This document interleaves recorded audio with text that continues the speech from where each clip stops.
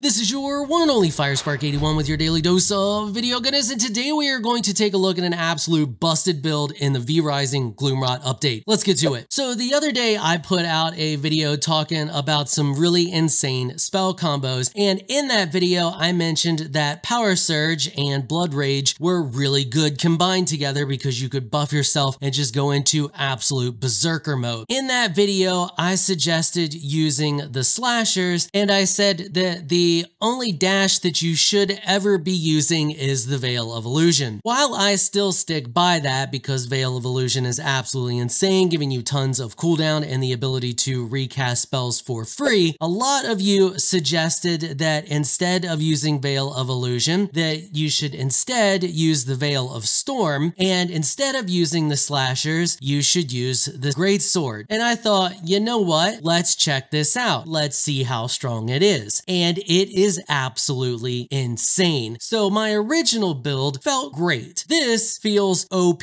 and slightly broken. Now there's two different blood types you can use with this setup. I prefer the Scholar Blood because it allows you to spam the two buffs a heck of a lot more. However, Brute Blood is an absolute solid option as well, giving you a lot more sustain and a little bit of an additional speed buff that you can proc from healing. The Jewel Tools for Veil of Storm, I highly advise trying to get one that increases the elude duration as well as increasing the damage of your next primary attack. Other than that, you're probably going to end up with the next primary attack inflicts a fading snare because there's not a whole lot of different options you can get on your Veil of Storm's jewels. For the power surge, you definitely want the shield the target for whatever percentage of your spell power. This allows you to heal while you're shielded, making you really really, tanky. Increased duration is another really good one. And then from there, every part of this jewel is absolutely fantastic because it rolls all good stuff. So you can get increased attack speed to increase your attack speed even more. Uh, one of the ones I really like is the lethal attacks during the effect reduce the cooldown by one second. And it, that stacks for anywhere from one to four times. So any combination of shielding you, increased attack speed, increased duration,